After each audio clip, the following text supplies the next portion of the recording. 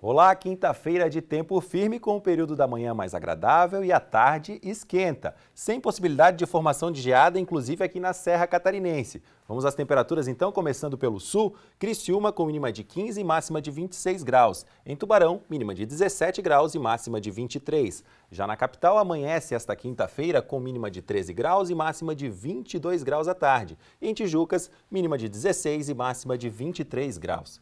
No Vale do Itajaí, Blumenau terá mínima de 14 e máxima de 25, Itajaí com mínima de 16 e máxima de 23 graus. Vamos agora lá para o oeste do estado para falar de Chapecó, que terá mínima de 13 e máxima de 28 graus, Xanxerê também com mínima de 13 e a mesma máxima de 28 graus.